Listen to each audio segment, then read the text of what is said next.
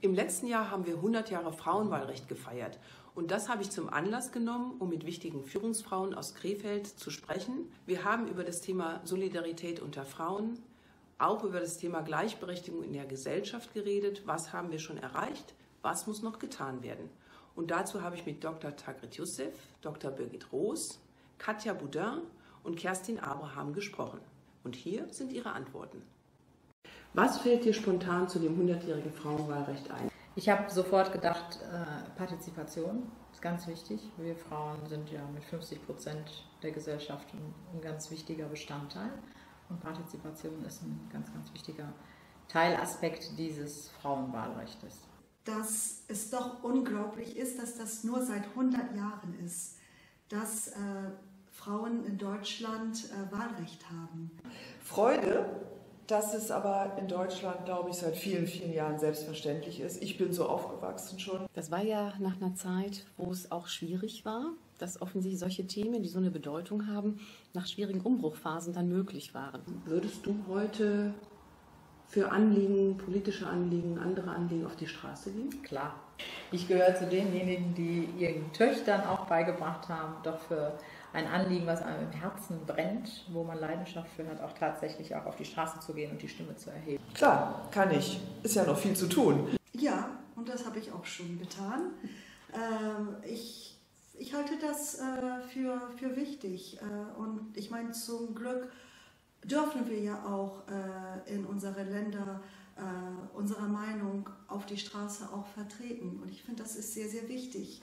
Und es wird ähm, eigentlich auch immer wichtiger. Siehst du da einen ganz besonderen Punkt, wo du sagst, da müssen wir wirklich auch stärker nochmal über Frauenrechte und über Gleichberechtigung reden? Ja, also was wir hier erleben, ist die Tatsache, dass Frauen, die aus ähm, Ländern kommen, wo das Frauenwahlrecht eben noch gar nicht umgesetzt worden ist, beziehungsweise erst in den Anfängen ist, äh, die natürlich hier ihre Chance nutzen, dass es hier eine Demokratie gibt, dass es für sie Frauenrechte gibt mhm. und sich tatsächlich auch darauf zurückberufen. Es gibt ja immer noch in unseren Köpfen, in fast allen Köpfen, tradierte klassische Rollenbilder. Die hemmen natürlich die Gleichberechtigung. Und nehmen wir mal ein ganz konkretes Beispiel, das schöne Wort Durchsetzungsfähigkeit. Bei einem Manager ist das natürlich eine wesentliche Eigenschaft und die wird von anderen auch bewundert und auch vorausgesetzt. Und was passiert, wenn wir durchsetzungsfähig sind?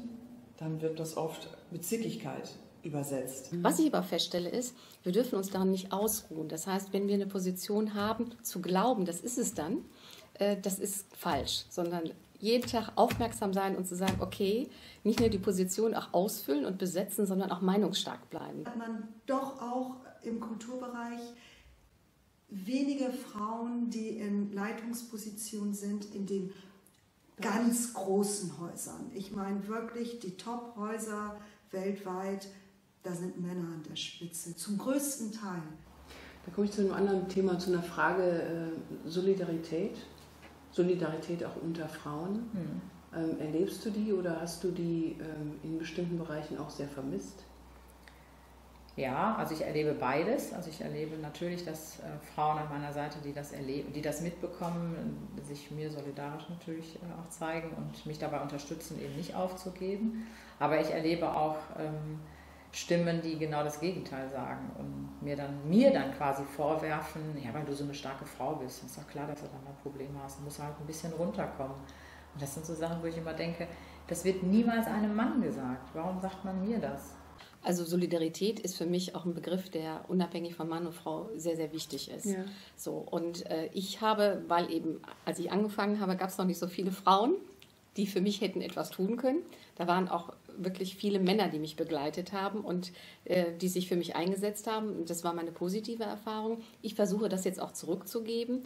Ich finde es aber schon wichtig, dass Frauen ähm, auch den Rücken stärken von, voneinander, genauso wie Männer es tun mit dem Good Old Boy Network, ist das auch wichtig, dass solche formelle und informelle Netzwerke auch existieren zwischen Frauen.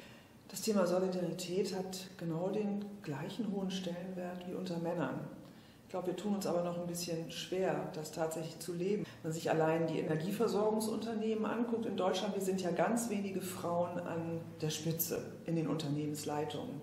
Aber wir kommen in Frauennetzwerken zusammen. Die nachfolgenden Generationen brauchen ja genau dies. Die brauchen Rollenvorbilder, die brauchen Netzwerke, die brauchen Mentoren. Mhm. Und wir kommen zusammen und diskutieren natürlich fachliche und inhaltliche Dinge, aber wir kommen auch zusammen, um natürlich auch sichtbar ein Zeichen zu setzen.